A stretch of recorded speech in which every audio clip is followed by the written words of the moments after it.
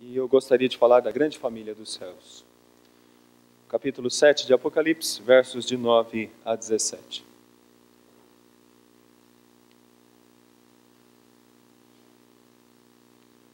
Capítulo 7, versos de 9 a 17. Depois destas coisas vi, e eis grande multidão que ninguém podia enumerar, de todas as nações, tribos, povos e línguas, em pé diante do trono e diante do cordeiro, vestido de vestiduras brancas, com palmas nas mãos. E clamava em grande voz, dizendo ao nosso Deus, que se assenta no trono e ao cordeiro pertence a salvação. Todos os anjos estavam de pé rodeado, rodeando o trono, os anciãos, os quatro seres viventes, e ante o trono se prostraram sobre os rostos e adoraram a Deus, dizendo: Amém. O louvor e a glória, a sabedoria e as ações de graças, e a honra e o poder e a força sejam ao nosso Deus pelos séculos. Amém. Um dos anciãos tomou a palavra, dizendo: Estes que se vestem de vestiduras brancas, quem são e de onde vêm e de onde vieram? Respondi-lhes: Meu senhor, tu sabes. Ele então me disse: São estes os que vêm da grande tribulação, lavaram suas vestiduras e as alvejaram no sangue do Cordeiro. Razão porque se acham diante do trono de Deus e servem de dia e de noite no seu santuário, e aquele que se assenta no trono estenderá sobre eles o seu tabernáculo. Jamais terão fome, nunca mais terão sede, não cairá sobre eles sol, nem ardor algum pois o cordeiro que se encontra no meio do trono os apacentará e os guiará para as fontes das águas da água da vida, e Deus lhe enxugará dos olhos toda a lágrima. Obrigado, Pai, pelo dia de hoje, pelas bênçãos que recebemos de Ti, pela Tua bondade que se renova, nos dando a alegria de estarmos em Tua casa para Te adorar. Dá-nos alegria, Senhor, em estar aqui, dá-nos comunhão uns com os outros para que vivamos desde já a realidade de uma grande família e dá-nos, ó Deus, condições para que ao sair daqui, nas nossas vidas, nas nossas rotinas diárias, possamos também manifestar a salvação de Cristo Jesus através das nossas ações e de nossas palavras. Abençoe os meninos que crescem em nosso meio, abençoe aqueles que já têm alguma idade, dá-nos saúde, vigor e força para que o teu povo, enquanto peregrina, possa ser fiel a ti. É a nossa oração e fazemos em nome do teu filho Jesus. Amém. Você se sente parte de uma grande família? Você entende que sua família não são somente uh, você, uh, sua esposa, ou seu marido e os filhos, talvez netos, sobrinhos, primos? Você se sente parte de uma grande família? Você entende que ser parte de uma igreja é fazer parte de uma grande família?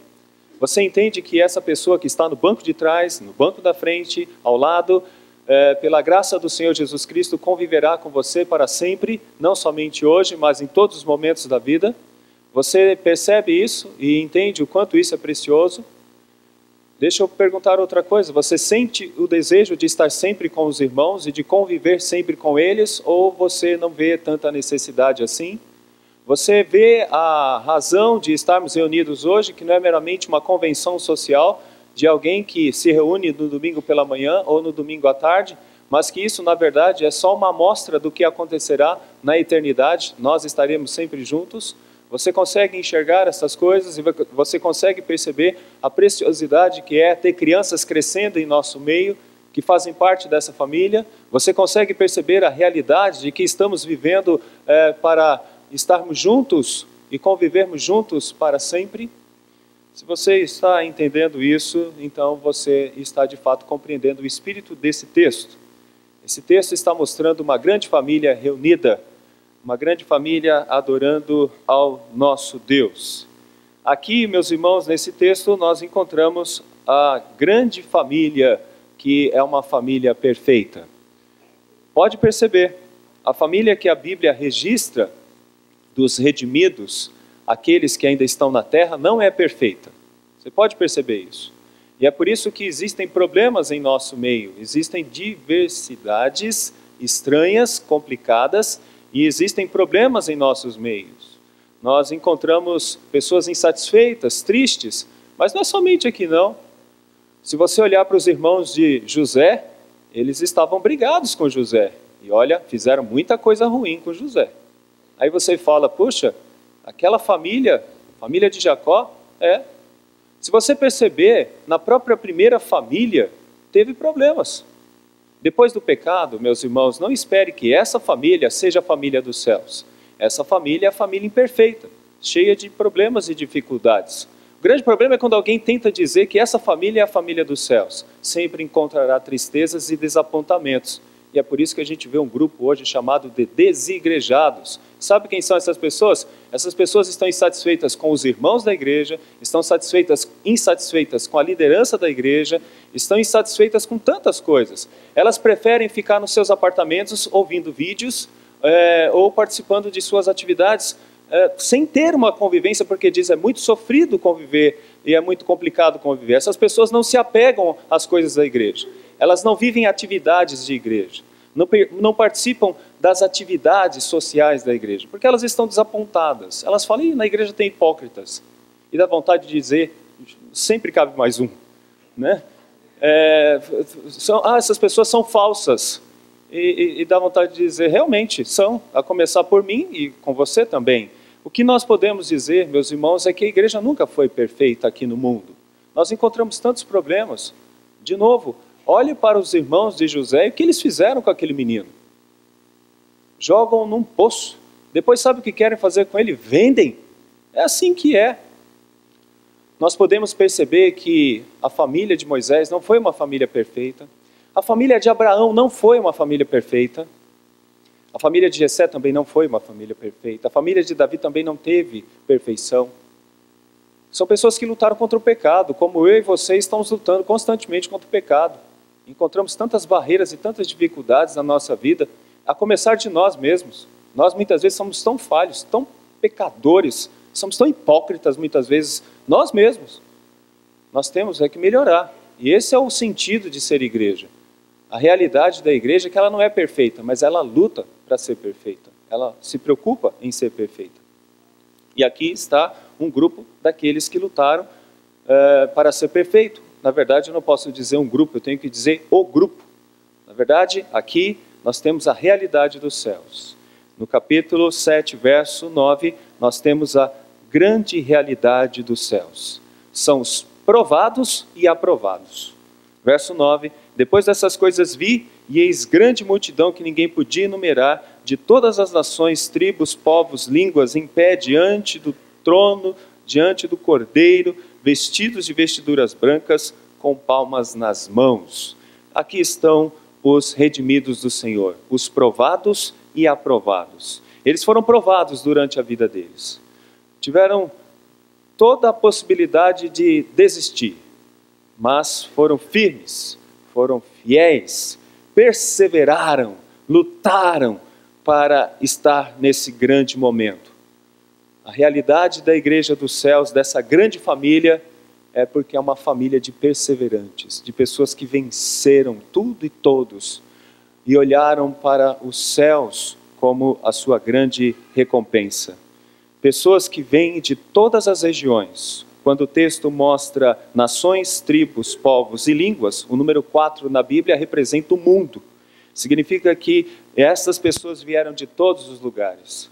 Daqui eu posso dizer que esta grande família é uma reunião é, de pessoas de todos os lugares e isso tem muito a ver com a obra missionária. E logo mais nós falaremos sobre missões na nossa conferência missionária e devemos valorizar esse trabalho missionário, pois esta grande família está sendo reunida dos quatro cantos da terra. É, eles têm agora um grande privilégio. E qual é o grande privilégio? Qual seria o grande privilégio desta grande família? Qual é o grande privilégio que a gente observa desta grande família? Eles louvam a Deus perfeitamente, com um cântico de adoração, muito parecido com esse que nós cantamos no início da nossa liturgia. Ao nosso Deus que se assenta no trono e ao Cordeiro pertence a salvação. Esse é o grande privilégio dos céus. Um louvor perfeito, um louvor sem pecado, um louvor sem preocupações com o dia a dia, um louvor que não é mais hipócrita, mas é um louvor verdadeiro, porque essas pessoas agora não somente têm fé, elas contemplam a realidade do trono, da glória do nosso Deus. Estão na presença dele e o adoram. Meus irmãos, algo maior nos espera quando, como grande família, estaremos neste momento adorando ao nosso Deus. Quem são estas pessoas? Essas pessoas são aquelas que passaram por grandes perseguições, por grandes sofrimentos, por grandes provas. O verso 14 diz: Meu Senhor, tu sabes. E ele então me disse: São estes os que vêm da grande tribulação, lavaram as suas vestiduras e as alvejaram no sangue do Cordeiro. Razão porque não se acham, razão porque se acham diante do trono de Deus e o servem de dia e de noite no seu santuário. E aquele que se assenta no trono estenderá sobre eles o seu tabernáculo.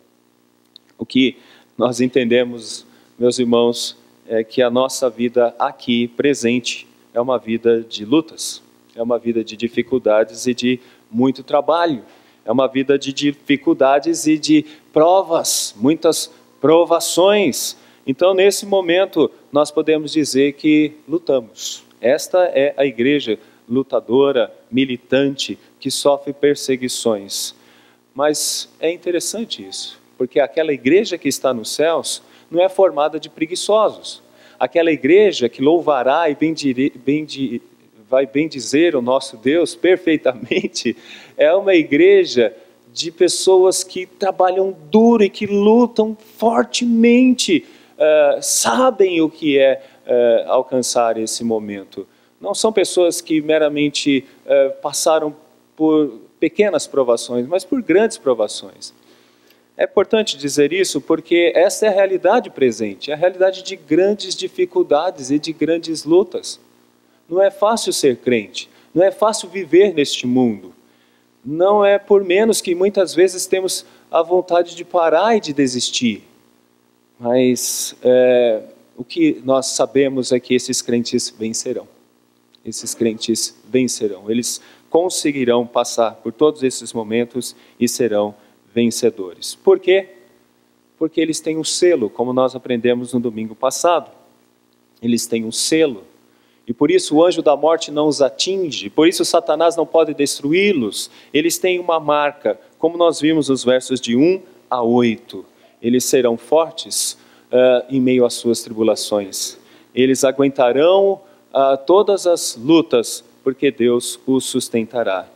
A igreja, então, será recompensada de todos os seus trabalhos e de todas as suas lutas.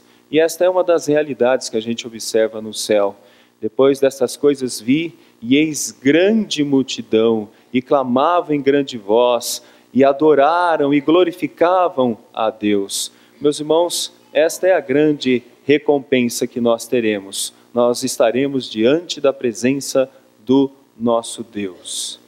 O que se perdeu em Gênesis, teremos de vez no final do tempo.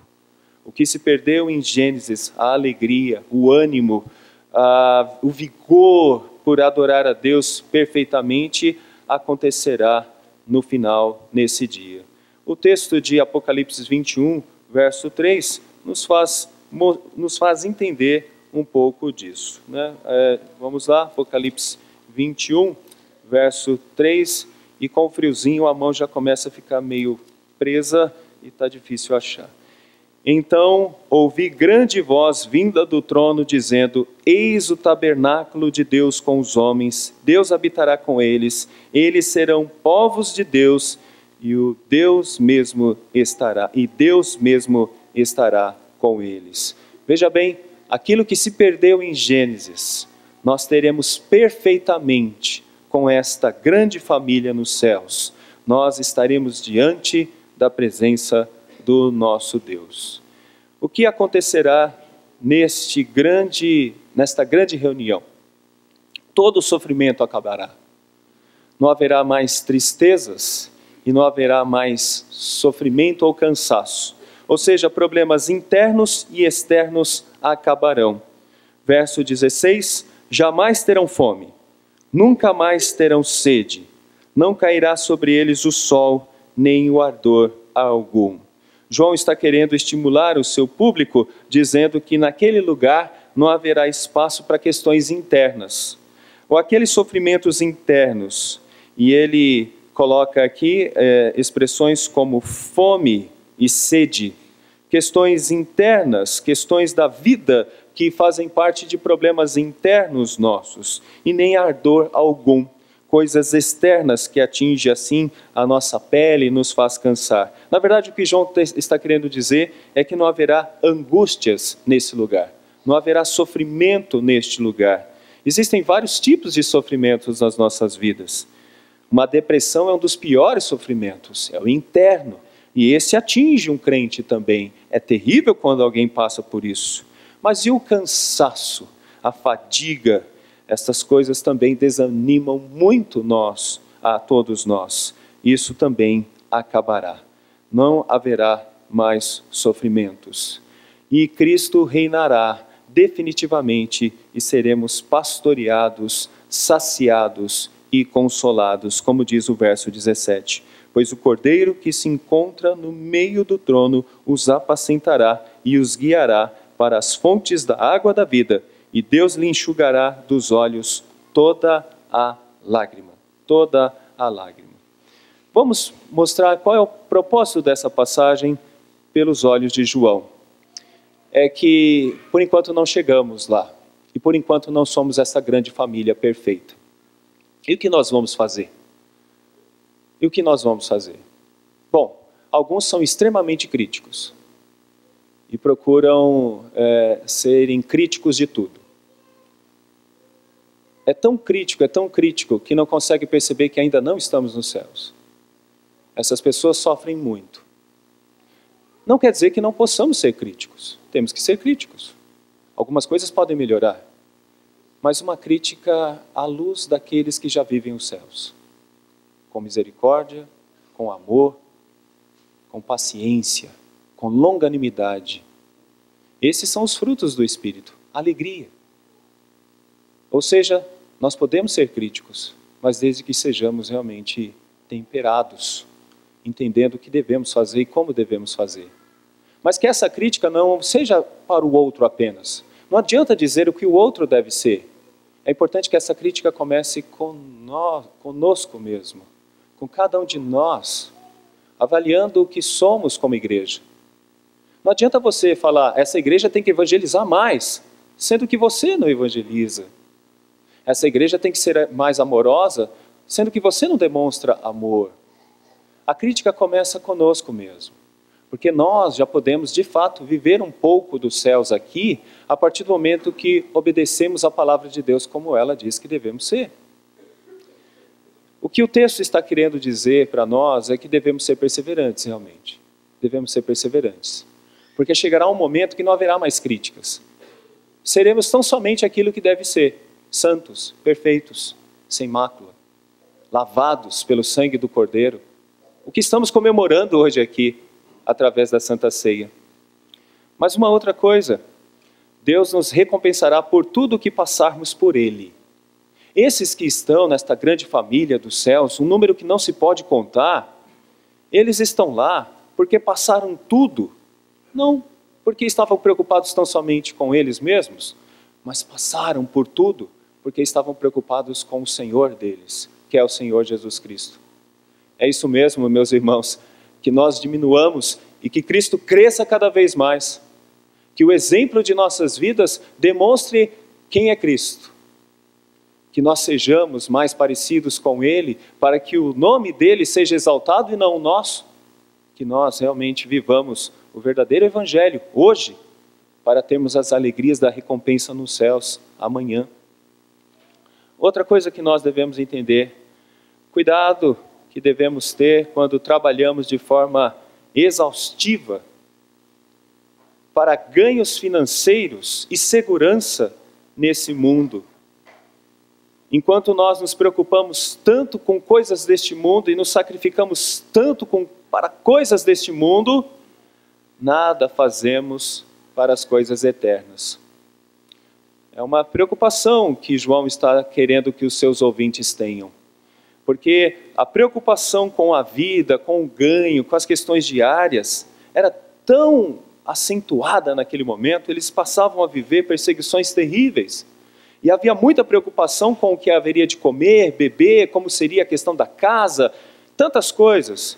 E João está dizendo: não troquem estas preocupações de coisas tão superficiais e que terminam rapidamente, e deixem de se preocupar com coisas eternas. E este é um ponto interessante para uma família que queremos ser, ou família que queremos ser. Nós podemos realmente trabalhar, estudar, ter todas as atividades que temos neste mundo, mas não podemos tirar os olhos dos céus. Muitas vezes estamos muito mais preocupados com esta vida, muito mais preocupados com o dia de hoje, com o que comeremos, com que, eh, com que nos vestiremos, mas nos esquecemos dessa outra realidade que é a realidade dos céus. Devemos viver esta realidade da vida, mas sempre tendo o olhar para os céus. O que o, o autor do texto de Apocalipse quer trazer aos seus crentes é que eles deveriam ter uma preocupação com o mundo vindouro. Se esforcem por tesouro que não perecem. Se esforcem por tesouros que não perecem. E a outra coisa, por que trocar tudo por bênçãos que durarão apenas um breve tempo e abandonar as bênçãos celestiais que permanecerão para toda a eternidade. Esta é uma coisa muito importante para nós, meus irmãos, e o autor está interessado em passar isso aos seus crentes, aqueles que estão lendo em sua época a, o seu livro, o livro de Apocalipse. Algumas aplicações para nós encerrarmos. Deus é paciente. Nesse texto do capítulo 7, a gente vê a paciência de Deus. Ele espera e ele está tendo calma, paciência para reunir todos os crentes. É isso que ele está fazendo. Ele está é, deixando ainda algumas coisas acontecerem, tem alguma tolerância com relação à maldade de alguns, porque é, Deus está esperando o número dos seus eleitos. No capítulo 7, versos de 1 a 3, nós vimos isso na semana passada. Então, nós estamos num período em que devemos nos encorajar, encorajar aqueles que estão desanimados, aqueles que estão tristes na fé, porque ainda é tempo de salvação. Ainda é tempo de reunião desta grande família, de reunir esta grande família. Se você tem um filho que não está tão apegado assim à palavra de Deus, então ore e seja um grande exemplo para que ele possa se reunir a esta grande família. Se você conhece alguém que ainda não é cristão de fato, que não, não é crente de fato, ainda estamos nesse tempo onde podemos reunir essas pessoas. Uma outra coisa importante também: não sabemos quando o fim virá, mas sabemos que ele virá de fato. Nós temos a certeza disso e todos os santos que são selados serão reunidos. Então nós aguardamos uma realidade superior. Nós não temos essa data, não temos esse dia, mas sabemos que Cristo reunirá todos os seus selados. Agora, é uma pergunta importante para cada um de nós que precisa ser feita. Como estamos vivendo? Será que estamos vivendo como nos dias de Noé? Lembre-se, na 1 de Pedro 3,20 diz isso. Eles casavam, se davam em casamento e não estavam nem um pouco preocupados com esse dia. Como que nós estamos vivendo os nossos dias? Deixa eu dizer, e eu preciso terminar essa parte do livro de Apocalipse, como estou encerrando hoje, dizendo que existe uma escatologia futura para toda a igreja, mas existe escatologias presentes para cada crente de maneira individual. E o que seria uma escatologia presente? Você não sabe quanto tempo viverá. O dia do seu chamado pode ser hoje, daqui a alguns minutos. Você está preparado? Você está como nos dias de Noé? Ou você está realmente como o próprio Noé, pronto, porque a qualquer momento pode vir o dilúvio? Essa é uma pergunta importante para se fazer, porque muitos jovens estão preocupados com tantas coisas. Talvez muitos aqui estão preocupados em mudar de emprego, estão preocupados em mudar de casa, estão preocupados em resolver muitos dos seus problemas, mas uma grande preocupação que cada crente tem é com a sua escatologia individual. Como que você está hoje? Se Cristo voltasse, como que você estaria? Mas se você morrer, você tem certeza de que você estará nos céus? Pense nisso. Pense. Porque pode ser que a qualquer momento você possa fazer parte desse grupo, e será maravilhoso, ou você pode fazer parte de um grupo que sofre as tristezas eternas. Temos segurança em Deus, fomos selados pelo Espírito Santo. A segurança que nos é dada pelo poder de Deus. Temos também a certeza de que nosso futuro está assegurado pelo nosso Deus. E o nosso Deus usa o seu poder ao seu favor e ao nosso favor, sustentando assim a igreja. Por quê? Porque Ele é o penhor da nossa herança, até o resgate da sua propriedade, em louvor da sua glória, como diz o texto de Efésios 1, 14 para uma herança incorruptível, sem mácula, imarcessível, reservada nos céus para vós outros, diz a 1 de Pedro 1, verso 4. Nós temos essa certeza. Daí, meus irmãos, lá podemos dizer está o nosso tesouro. Lá está, de fato, a nossa maior segurança. E aguardamos esse momento. Mas veja bem, não espere para viver como uma família lá. Comece a viver com uma família hoje. Eu gostaria muito, eu vou pedir isso a você. Eu acho que temos condições de fazer isso. Olhe para a pessoa que está do teu lado. Isso.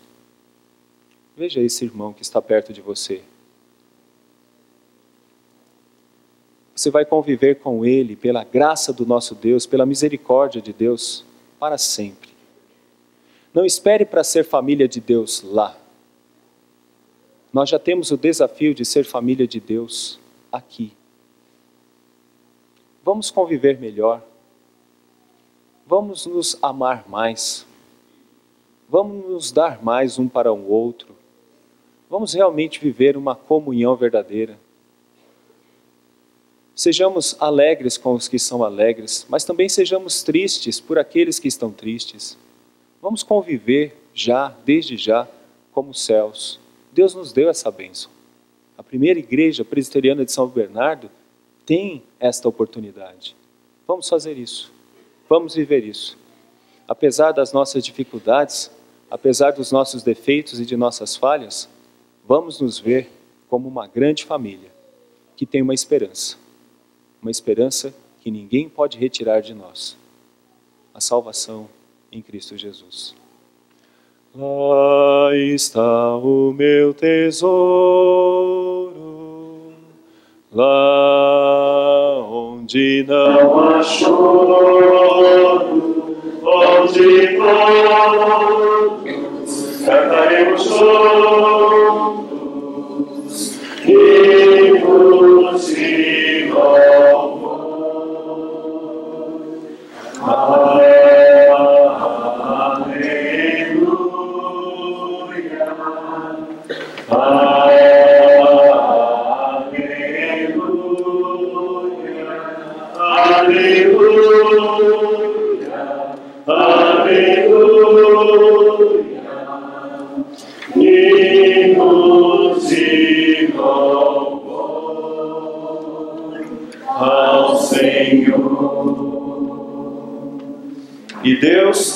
enxugará dos olhos.